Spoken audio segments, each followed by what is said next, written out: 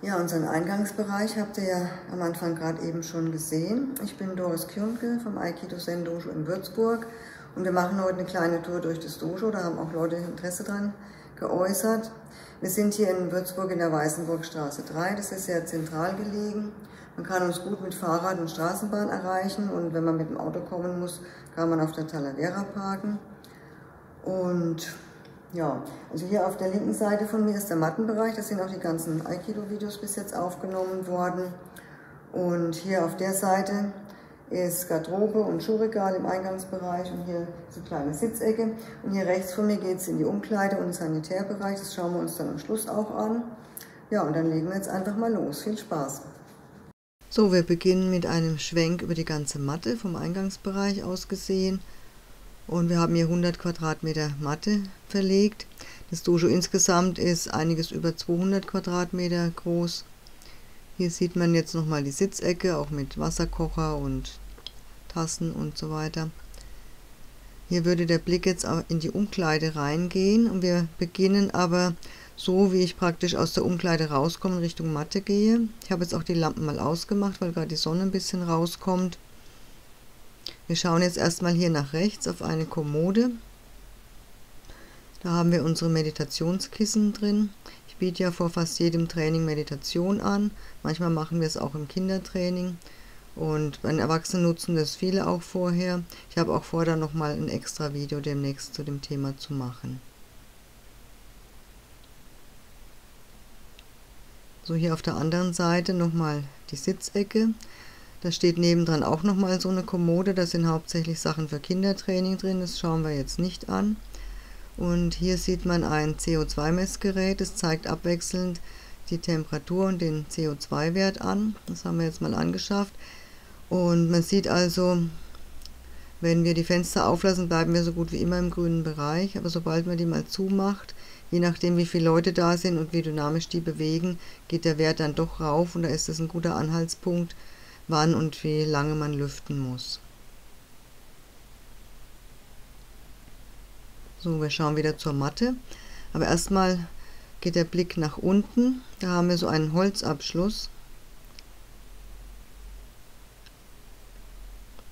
Der ist ca. 25 cm hoch. Obendrauf die Matte ist 4 cm dick. Die liegt auf zwei Lagen Spanplatten. Und wie es da unten drunter aussieht, das blenden wir jetzt mit einem alten Bild nochmal ein. Man sieht also am Boden flach Autoreifen liegen, die ineinander verkeilt sind. Die haben wir aus dem alten Dojo schon mitgebracht. Wir sind 2014 umgezogen und wir haben dann diesen Schwingboden hier wieder aufgebaut. Das kann man also sehr empfehlen, weil es ist ein ganz angenehmes Fallen, weil es auch einfach dann flächenelastisch reagiert. So, und wenn wir jetzt auf die Matte raufgehen, also hier links ist eine Außenwand, die haben wir teilweise mit Bambus verkleidet. Es gibt also einmal eine bessere Akustik, weil es nicht so halt. Und es ist auch insgesamt eine wärmere Atmosphäre durch diese braune Farbe, als wenn jetzt alles so weiß ist. Hier sieht man es mal ein bisschen größer.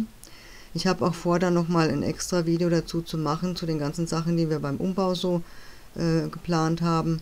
Und das ist vielleicht interessant für Leute, die auch mal ein Doge bauen oder die ein bisschen handwerklich da begabt sind. So, hier sieht man jetzt die Ecke mit dem Bild von Uyeshiba. Da haben wir normalerweise auch immer Pflanze oder frische Blumen oder sowas stehen. Oben drüber ist ein kleines Fenster, das ist hier jetzt auch auf und hier geht der Schwenk über die ganze Fensterfront. Man sieht also, dass man hier gut Durchzug machen kann. Ich öffne hier jetzt mal einen Fensterflügel. Wir haben es so gemacht, dass er nicht in den Raum rein steht, und an diesen weißen Kunststoffteilen kann man den befestigen. Das innen drin ein Magnet und hier außen ein Metallplättchen. Diese Teile hat ein Freund mit einem 3D-Drucker hergestellt. Und die haben wir an jedem Fensterflügel, den man öffnen kann. So hier die Nische mit der Klangschale für Meditation. Die Nische war in dem Raum schon so vorhanden und es hat dann einfach ganz schön gepasst, es da reinzustellen. Meditation vorm Training ist auch nach einem Arbeitstag also eine sehr gute Möglichkeit, einfach mal runterzukommen. Das nutzen auch viele.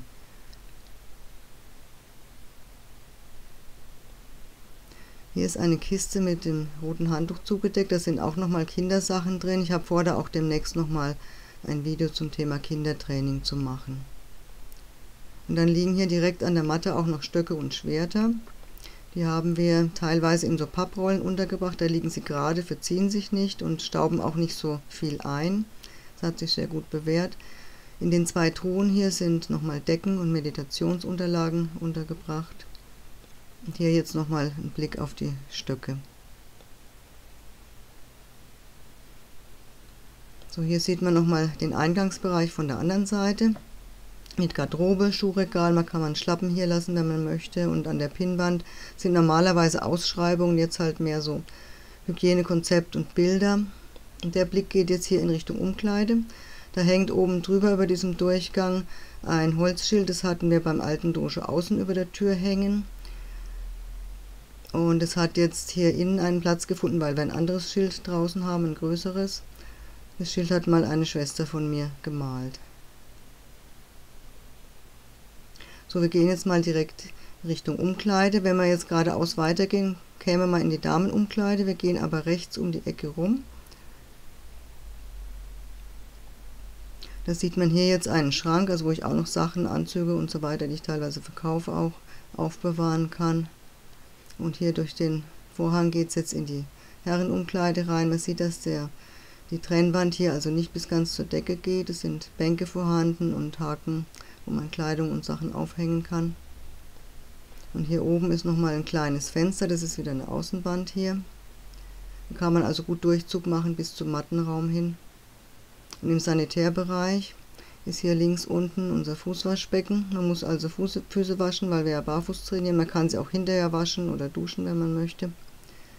Und in der Herrentoilette ist hier nochmal ein Fenster auch vorhanden.